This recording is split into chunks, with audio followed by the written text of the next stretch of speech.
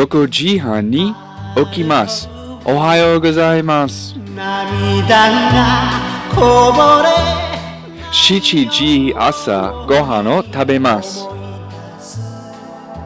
よしえさんはお弁当を作ります。一人ぼっち7時半神社に行きます。お祈りをします。歩こう滲んだ星を数え8時から駅に行きます。スキーサムから札幌駅まで地下鉄に乗ります。30分間くらいです。幸せを8時45分日本語のクラスがあります。時々1時半間です。時々3時間です。えー、ちょっと難しい。10時半公演があります。面白いです。この公演は犬ロバットについてです。20時昼ご飯を食べます。ケイバンさん、いくらですか ?30 時日本人と公園でゲームをします。思い出す秋のユキのニックネームはミスターサンドルーズです。日の夜14時時々文化ご利用活動をします。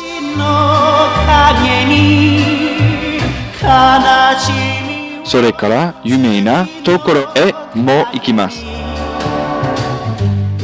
オクラ山と岡色神樹神社と金庫面と小樽と伊達寺大村に行きました。楽しかったね。歩く16時札幌駅に行きます。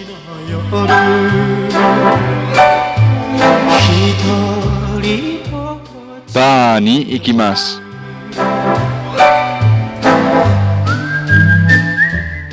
お酒とビールを飲みます。それから日本語を練習します。本当だよ。立ってください。こちらは17時モルに行きます。エスタで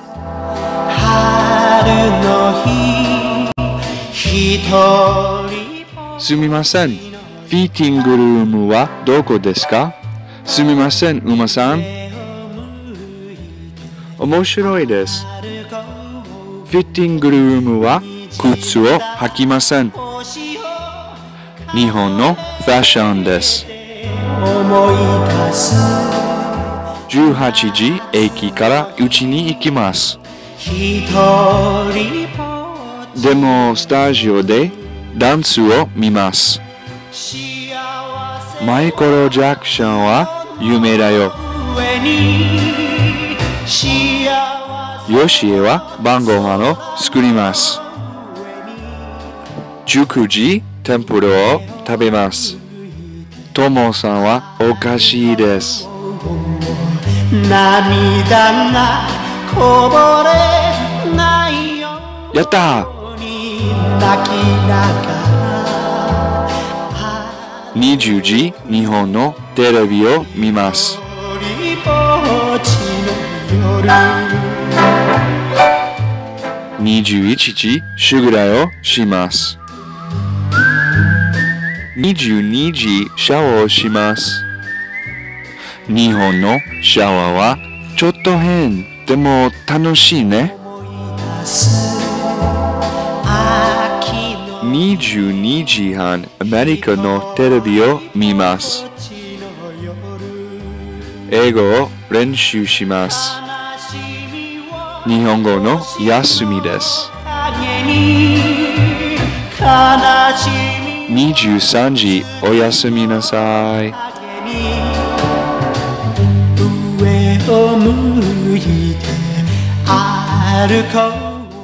終わります。ありがとう。ありがとう。ありがとう。ありがとう。泣きながら一人ぼっちの夜。